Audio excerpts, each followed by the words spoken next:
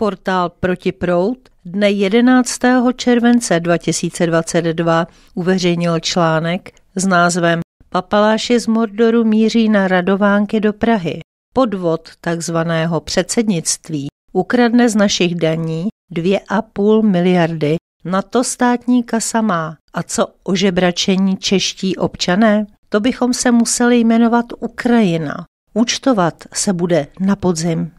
Autor článku Jindřich Kulhavý vidí v plánovaných sletech Euroelit do Prahy za Fialou nejen přípravu tragického českého premiéra na uvozovkách emigraci do Bruselu, ale také příznak skutečnosti, že ačkoliv jim už u nich doma začíná hořet půda pod nohama, tváří se, jako by tu měli být navždy, což doufejme i naším přičiněním rozhodně nebudou. České předsednictví v Evropské unii nebude nijak levné.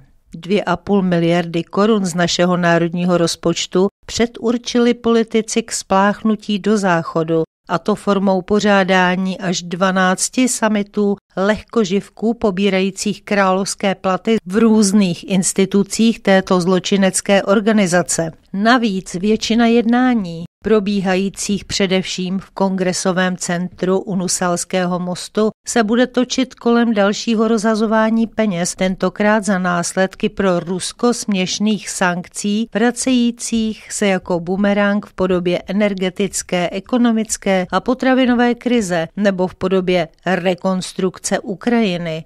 Fiala a pětikoalice se chtějí značně zviditelnit a připravit si cestu do dostatečně dotovaných evropských úřadů. Kolaborantka Jourová musí jednou skončit a například Fiala jako eurokomisař by bylo pro premiéra v celku terno. Potitulek rozhazování z našeho, utrácení peněz ze společného pouze pro jejich vlastní osobní prospěch jsme to už ve spojení s předsednictvím EU měli. Tenkrát to skončilo kauzou kolem ozvučování akce, do které bylo namočeno plno politiků, především z ODS. A ejhle, tentokrát u toho tato strana opět bude navíc v době, kdy vládou a politickou scénou otřásá další skandál, tentokrát se točící kolem mafiánských praktik členů stan a TOP 09. Ignorujme řeči Rakušana či Pekarové Adamové o jinak křišťálové čistotě jejich stran. Připomeňme, že TOP 09 založil proslulý defraudant Miroslav Kalousek a stan zase částečně ovládal šikovný, nicméně v uvozovkách nesvéprávný podnikatel Redl, který však světe div se i přes svou údajnou duševní nemoc vlastní řidičský průkaz. Pekarová Adamová, postrádající základní politické vzdělání a etiku, přenesla na půdu parlamentu České republiky staré zvyky a při kritice zástupců ANO agresivně a jmenovitě útočí především na Andreje Babiše slovy, která by měla patřit především jí. Vypláchněte si ústa desinfekcí. Budeme-li realisty, od dob pádu Petra Nečase se z této sněmovny stal politický jarmar, který v mnohém zastěňuje proslulou facku, udělenou kdysi tehdejším poslancem Miroslavem Mackem doktoru Rátovi. Smutné je, že vulgarity z úst Kalouska a Babiše přebíjí neomalená předsedkyně, která by navíc dle dosavadní zvyklosti měla zastávat naprosto neutrální postoj. Vzhledem k její inteligenci, zmanipulovaném postupu do výšin, o niž se bývalé obchodnici se službami mobilního operátora ani nezdálo, a ideologickému zaslepení však neočekávejme žádné výkony přesvědčující nás o diplomatické vyspělosti této lídrině TOP 09. Ostatně právě ideologie, jejíž hlavním stavebním kamenem je nenávist k Rusku, Babišovi a ignorace potřeb našich občanů, momentálně likviduje v našem měřítku ekonomiku a hospodářství země. V evropském má antirusismus dopad na celou EU doslova tragický a již vyhání lidi do ulic. Zatím omezeně, naplno to přijde po prázdninách.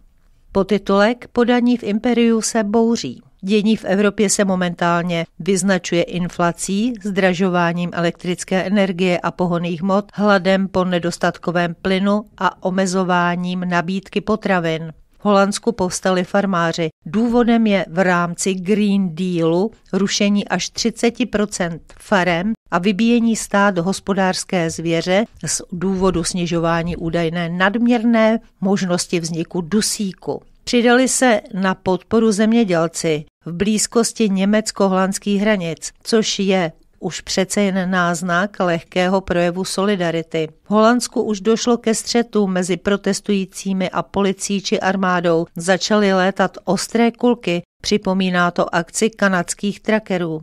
Také v Itálii vyšli nespokojení Italové do ulic a žádají demisi vlády. Ta už padla v Bulharsku. U nás proběhla v pátek menší demonstrace, ovšem i kvůli období dovolených je lze označit zatím spíše za plácnutí do vody. Bohužel. Poláci pořádali o něco větší demonstraci směřující k podpoře Ruska, což už jsme zaznamenali i v Rakousku a Německu. A to je začátek léta. Podzimní chladnější dny budou aktivátorem nespokojenosti lidí tušících problémy s blížící se zimou. Navíc boje na Ukrajině mohou být blíže ke svému konci. Pokud by však chtěla Moskva denacifikovat celou Ukrajinu, musela by ji vyčistit komplet. A to je na delší dobu. Potitulek Štvavá antiruská propaganda. Vraťme se domů. Mediální běsnění a lhaní kolem Ukrajiny pokračuje. Lidí zmanipulovaných sledováním televize a seznamu je stále mnoho a vystoupíme-li z naší zóny, ve které je nespokojenost s chováním vlády EU a s nenávistí vůči Rusku znatelná, nakoukneme do jiné bubliny a zjistíme, že štvavá propaganda médií z části dopadá na úrodnou půdu.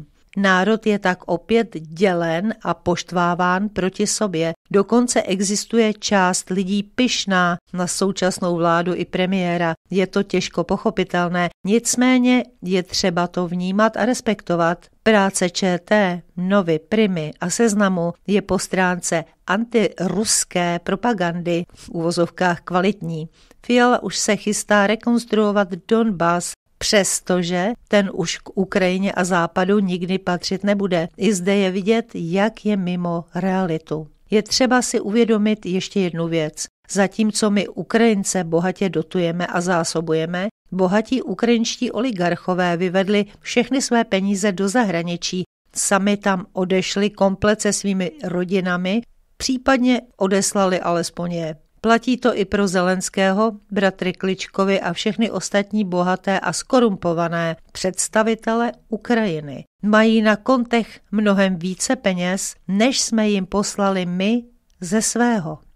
Pokud jim tedy záleží na rodné hroudě, ať si ji sami zasponzorují. Peníze od nás a z EU se stejně nakonec přelíjí do jejich kapes, tedy pokud je samotní Ukrajinci konečně nevyženou. Vladimír Putin jim do jejich rozkrádání hodil vidle, i proto ho vládnoucí oligarchie tolik nesnáší. Fiala pouze ukazuje svou naivitu a bezbřehou touhu zalíbit se loutkovodičům evropských v uvozovkách elit. Za naše peníze si buduje příští kariéru. My jen doufejme, že už tu moc dlouho bagatelizovat kritickou situaci České republiky nebude a brzy zmizí i s naší pomocí příslovečném propadlišti dějin, nejlépe s celou Evropskou unii. Bylo by fajn, kdyby poslední takzvané předsednictví jednotlivého státu skončilo právě s námi.